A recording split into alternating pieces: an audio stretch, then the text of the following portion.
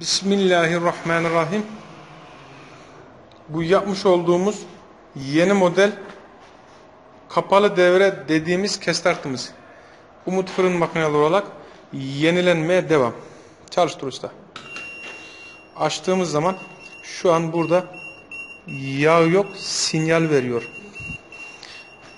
Deposu yan tarafında yağını buradan koyduğumuz anda burada sensör var. Sensör yağ görer ve sinyali keser. Şu an direkt olarak çalıştıralım. Çalıştır usta. Bu şekilde çalışır.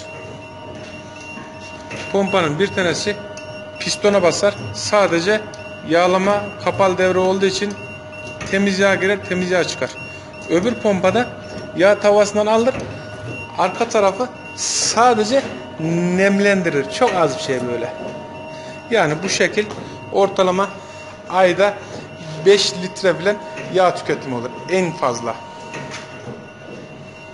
Buralar falan çalışma sistemi. Motor hem yavaş hem hızlı konumda.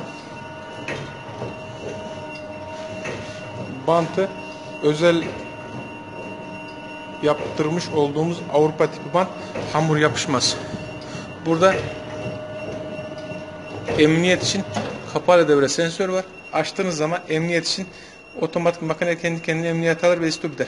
Kapattığınız zaman da tekrar emniyetten kurtulur ve çalışır.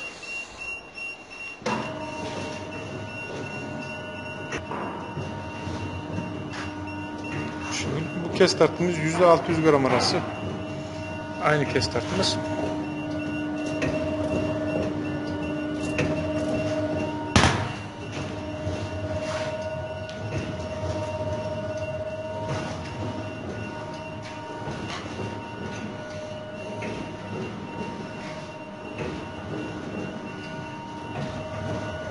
Bu şekil kaportası giyinmiş vaziyette.